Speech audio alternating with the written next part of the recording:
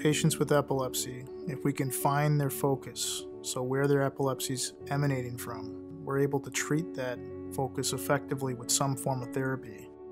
Two decades ago, we might not have been able to identify a lesion, an abnormality in the brain that is the source, the cause of someone's epilepsy.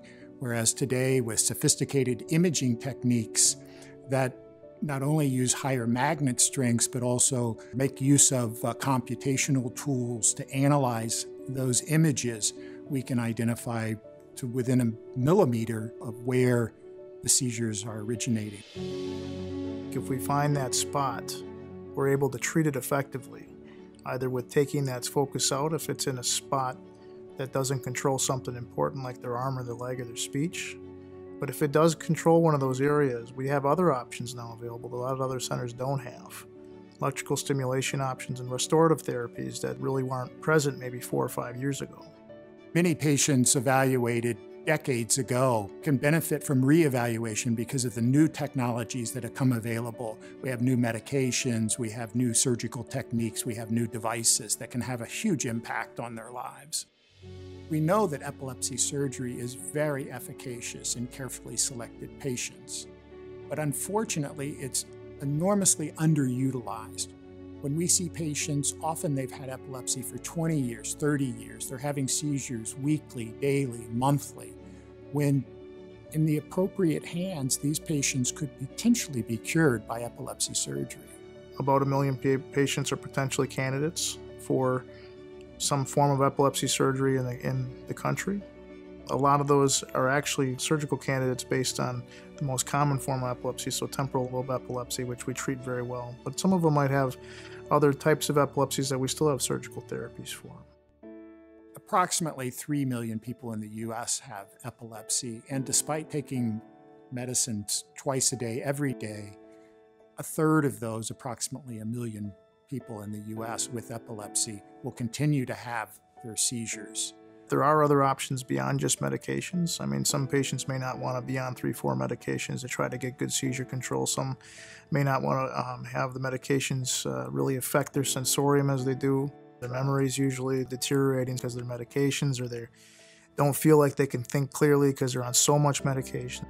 If a physician has tried two medications at appropriate doses, appropriate application of those medications, and the patient is still experiencing seizures, the chance that a third medication is going to render that patient seizure free drops significantly, certainly less than 10%, approximately 7%. It's hard to face a life knowing that you're not going to know when the next seizure is going to happen. I think that's depressing, anxiety provoking for patients. The same circuits in the brain that are responsible for mood, for behavior, these are the same circuits that in patients with epilepsy are generating seizures. 80% seizure freedom is something that we typically reserve for patients that we see a spot that might be causing their epilepsy on the MRI, or alternatively, patients that have seizures that start from the inside part of their temporal lobe. And that's a very reasonable expectation in those two very well described epilepsies. However, there's a fair number of patients that don't fall into those categories that still have excellent treatment uh, options available uh, for them. The goal of epilepsy surgery is to remove or destroy the tissue generating seizures. With cortical mapping, we're able to identify which regions of the brain perform which functions. With recording from the brain, we identify where seizures come from. In some select patients in which uh, we find the seizure focus and we suspect that it's close to something very important like speech or arm movement, we do extra operative cortical mapping if they have a subdural grid in place. This is where the leg moves or this is where the arm moves.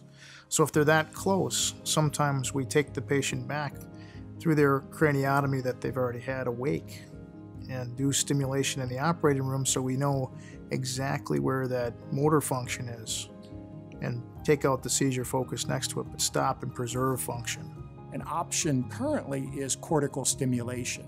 So this is where electrodes are implanted on the surface of the brain or within the brain and target that region with electrical stimulation, which doesn't destroy the normal function, but controls the seizures in that region of brain. Vagal nerve stimulators are a uh, stimulator that's placed in the neck on the vagus nerve, always on the left side. It itself has a role in treating patients in which we can't really figure out where their focus is coming from, or in patients that maybe don't have a focus, like generalized epilepsy. In a certain proportion of those patients, they respond very well, have a reduction in seizures. The goal for patients with epilepsy is always seizure freedom with no side effects. In the future, the technologies that are available, the medications, the diagnostics, the therapeutics, are transforming the care of these patients.